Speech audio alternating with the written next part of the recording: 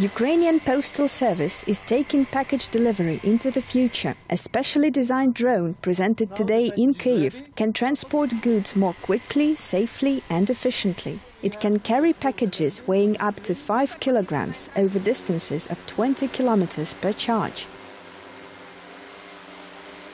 One drone can make up to 300 flights per month. Customers will be able to order delivery through smartphone. However, the cost of the service has not yet been revealed.